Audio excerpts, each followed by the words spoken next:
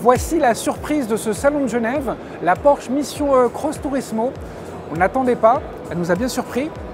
Alors la Mission E Cross Turismo, c'est une sorte d'all-road, autrement dit un break avec des atours de SUV. Regardez ici, il y a des arches de roue, une garde au sol rehaussée, des pneus pour le tout-chemin, mais c'est un modèle électrique qui décline, qui découle pardon, de la Mission E. Donc le modèle électrique qui sera commercialisé en 2019. Et cette Porsche Mission Cross Turismo, elle, elle arrivera au mieux en 2020.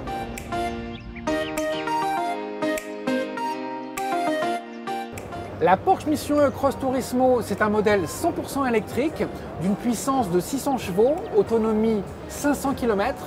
Les deux moteurs permettent d'avoir une transmission intégrale, donc un 4x4, parfait pour une vocation SUV.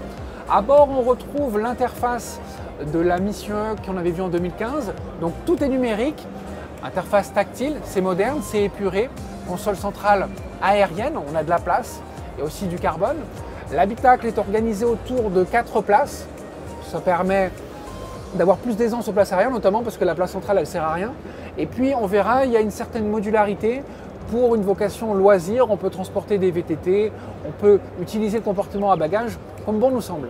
Avec la Panamera Sport Turismo, Porsche nous a habitués à la carrosserie break. Maintenant, c'est une déclinaison SUV.